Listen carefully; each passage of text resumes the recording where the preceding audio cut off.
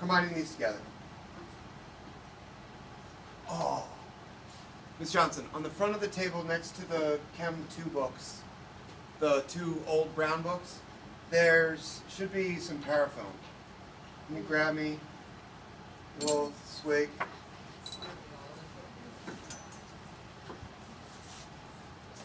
Thanks. Well, maybe.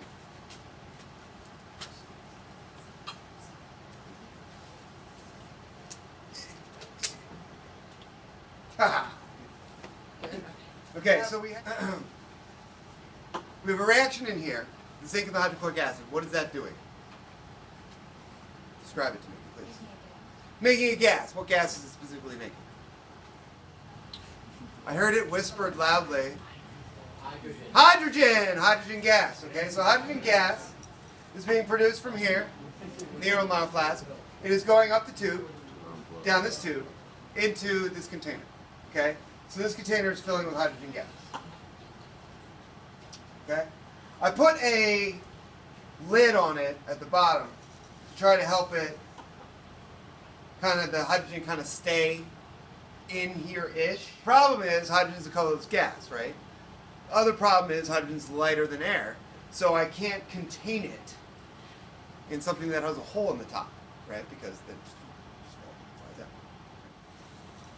Now, just so you know, this reaction has a 33% chance of success, 67% chance of disappointment. Okay, Pretty good. so I've done it three times and it's worked once.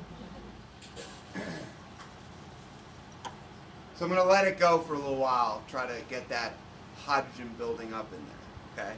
The reason why we wrote the equation for the formula for the formation of water on the board, uh, what's missing from that equation? Help me out. It's what? Where? It's not balanced, right? It's not balanced. Uh, how do we balance that?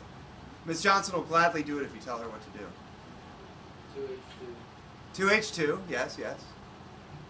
Two H and then two H2Os, right?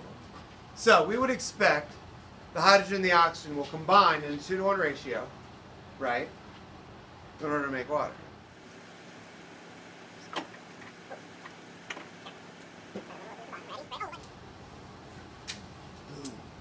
Yes!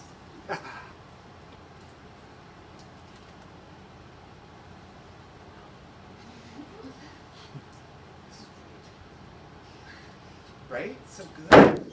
Oh, yeah!